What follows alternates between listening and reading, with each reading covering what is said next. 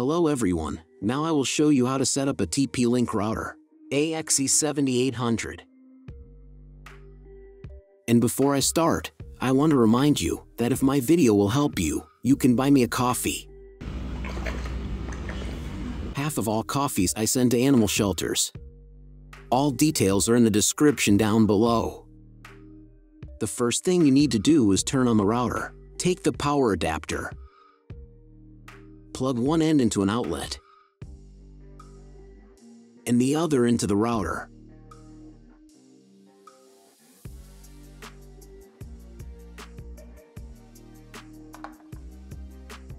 On some models, you need to press the power button.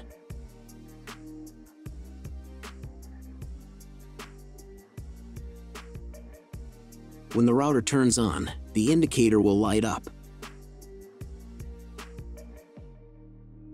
Then connect the cable from your broadband provider to a special port. This port is usually signed as WAN or Internet, and usually it has a different color.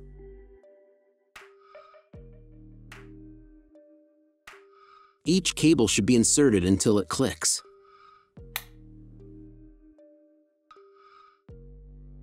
Next, insert one end of the Ethernet cable that comes with the router into one of the LAN ports.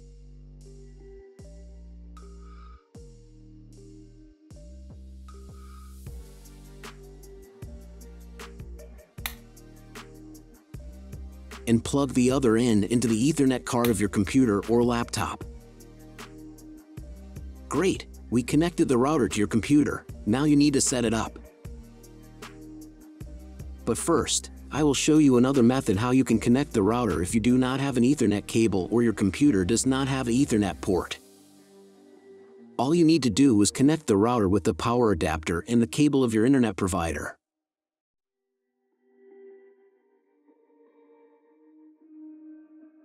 When you do this, your router will immediately distribute Wi-Fi, but the internet will not be available. If the router is new and has never been configured, the Wi-Fi network will be with the name of your router. The router name and Wi-Fi password are printed on the sticker that is located on the router. These credentials are different for each router. Connect to it. Great! You have connected to the router. Now let's proceed to its configuration.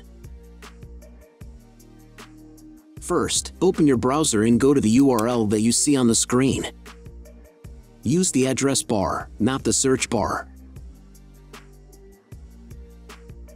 If the link doesn't open, or you see a page with a password that you don't know, it means that your router has already been configured, and you need to reset it to factory settings press the special reset button on the router for 5 to 10 seconds. The indicators on the router will blink. Usually this button is inside the router case to prevent it from being accidentally pressed. In this case, press it with a thin object.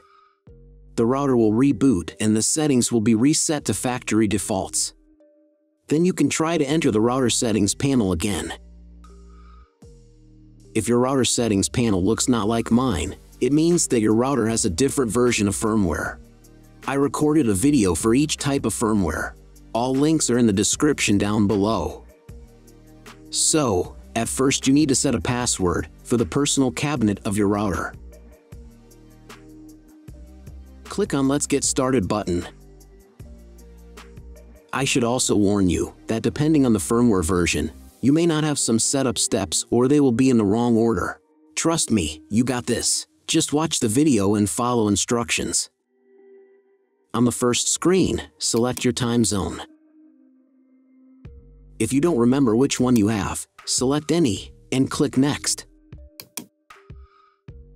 On the next page, select the type of internet connection. Usually it is specified in the contract with your broadband provider. If you don't know, you can try to click on the Auto Detect button. The router will try to identify what type you have. If it has failed, select Dynamic IP and click Next.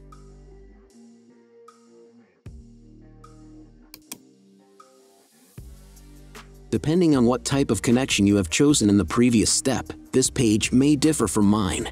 If you have selected Dynamic IP, then choose one of the options on this page. If your ISP only allows internet access to a specific MAC address, you need to clone the MAC address of the primary computer. If you are not sure about your MAC, select Use Default MAC Address and click Next. In most of the cases, there is no need to clone the MAC address.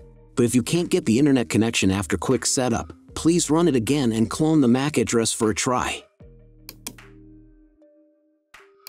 On next page, set name and password of your future Wi-Fi network.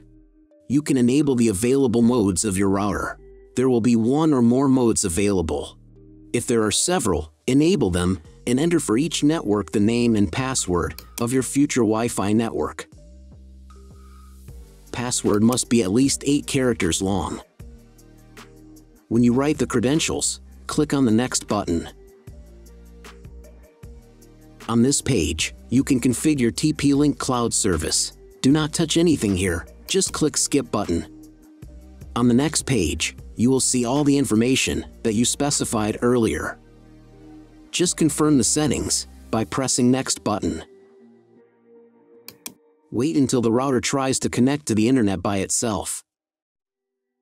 If it's failed, check again whether you have connected all the cables correctly. Click Skip then try to reboot your router. But if it's not failed, then check whether the internet is available. Just Google something. If there is no internet, then try to reboot your router. For this, go to Advanced.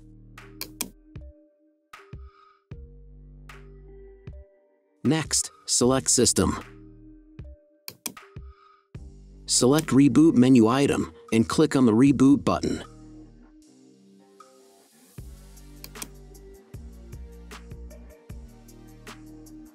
If the internet still does not appear, then log into the router control panel using the password that you created at the very beginning of the router setup. Select Internet menu button and then clone MAC address. After that, save the settings. Reboot your router and after a couple of minutes check internet connection.